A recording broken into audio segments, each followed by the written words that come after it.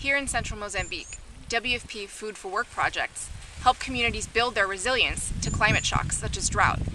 A dam in this community was built with 150 people from the community who were beneficiaries of Food for Work.